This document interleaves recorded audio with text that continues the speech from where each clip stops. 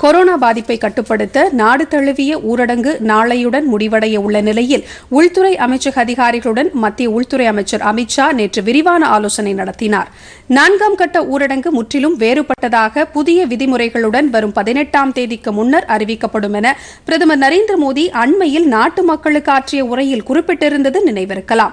அதன்படி நான்காம் கட்ட ஊரடங்கு விதிமுறைகள் மற்றும் தளர்வுகள் குறித்து அமைச்சர் அமித் ஷா நேற்று புதுதில்லியில் பல்வேறு கட்ட ஆலோசனைகளை மேற்கொண்டதாக தகவல்கள் தெரிவிக்கின்றன. சுமார் ஐந்து மணி நேரம் நடைபெற்ற இந்த ஆலோசனையில் உள்துறை செயலாளர் அஜய் பல்லா உள்ளிட்ட உயர் அதிகாரிகள் கலந்து கொண்டனர்.